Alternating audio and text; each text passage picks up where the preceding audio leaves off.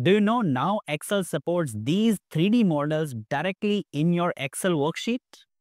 Let me show you. Go to Insert and under Illustrations, you should be able to find an option called 3D Models. Click on it and look for the model that you need. For example, we need Earth model.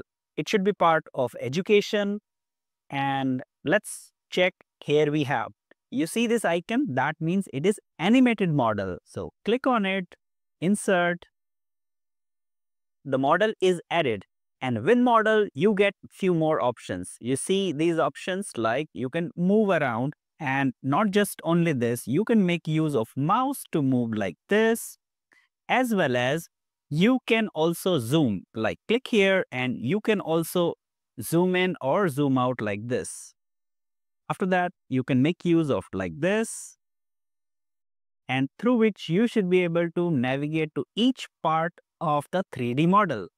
Isn't it great? Follow us for more videos like this.